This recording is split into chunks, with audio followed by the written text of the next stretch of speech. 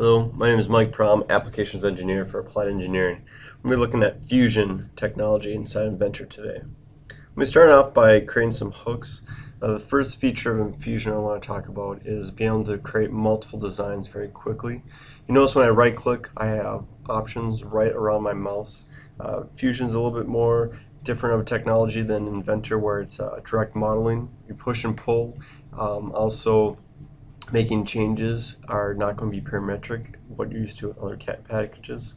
As you're noticing here, I'm just doing some quick sketching and um, I'm going to be extruding out this part.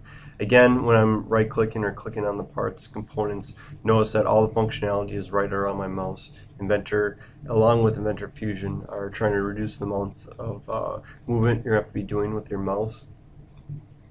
Now as I'm going through this design, a lot of functionality I'm used to regular CAD design is still here, still creating new sketches, uh, still being able to reference geometry as you can see here as I'm continuing on with my sketch. Instead of just creating lines, you're going to be using a draw tool inside of Fusion, uh, but it's going to be the same type of sketching that you're used to. Once I have another sketch completed again, notice that every time I'm done, you're just going to right click and see my options and hit the check mark. Uh, there is still a, a, ribbon like you're used to with regular Inventor, but again, uh, Autodesk is trying to reduce the amount of movement you're doing with your mouse, so all the functionality is going to be right around that right click.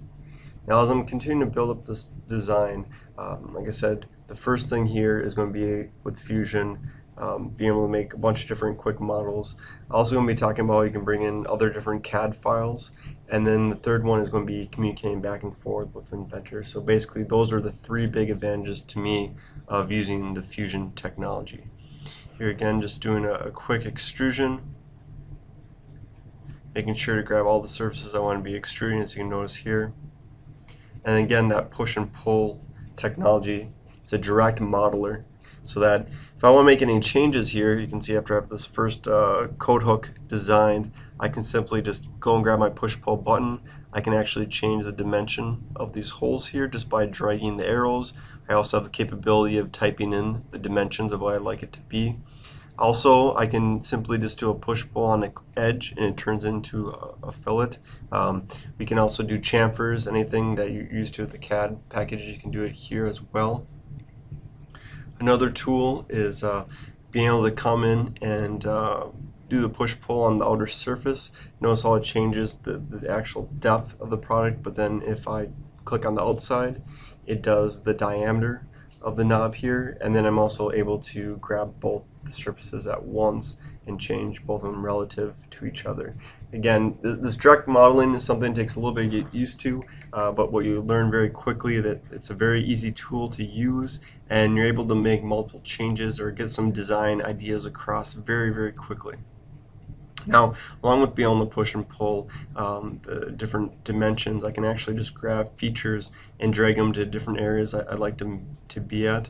Um, again, it's it's something that allows me to uh, get different ideas across. Also, you know, deleting a feature or a hole here uh, very quickly, coming in and uh, now patterning it out to put in three different uh, screw holes, um, doing different ideas, playing around with concepts. Um, one thing you'll notice I didn't actually grab an axis when I'm doing my pattern here. I can just grab the outside diameter of that circle and it's going to grab the center point to use as my axis.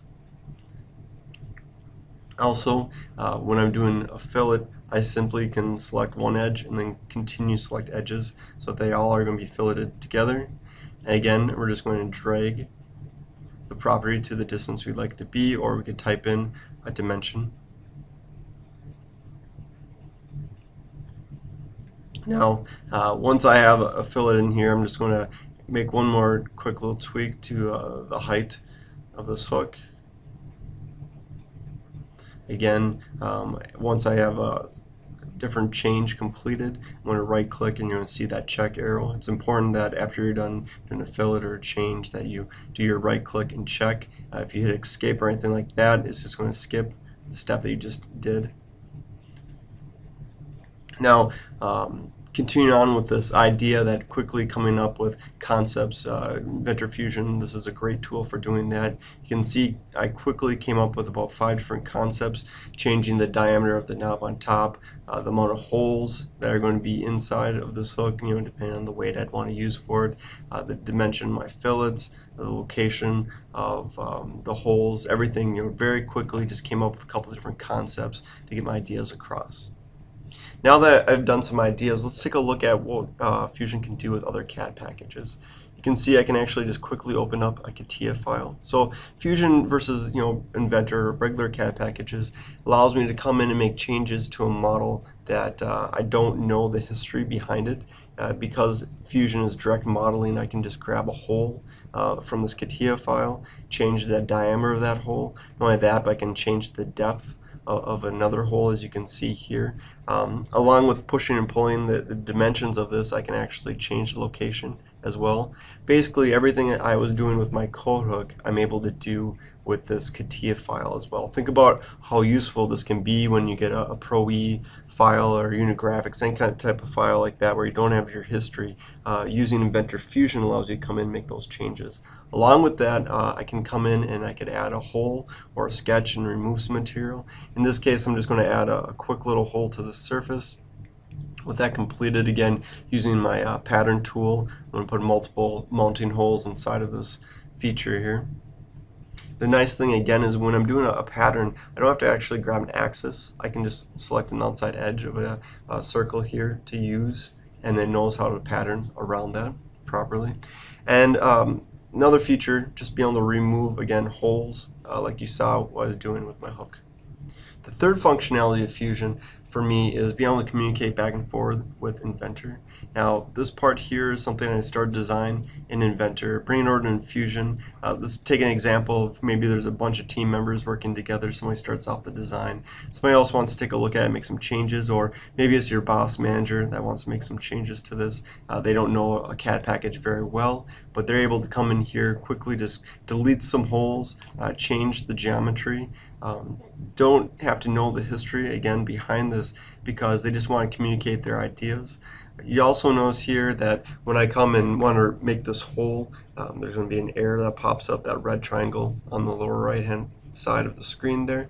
That's because those holes need to be removed first before I can actually do this extrusion feature. As you can see when I hit the check mark. So I can simply just come in and uh, remove those holes and continue on with my design. Now, once I'm complete with my design, I can actually just save this.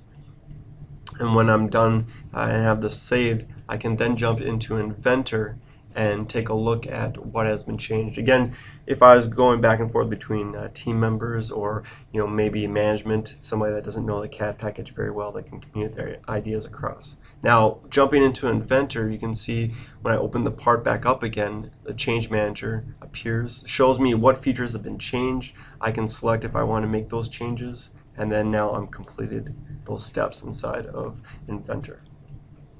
Now that's what I have for Inventor Fusion. Look forward to seeing you on the other steps I'm doing with What's New Inventor 2011. Thank you.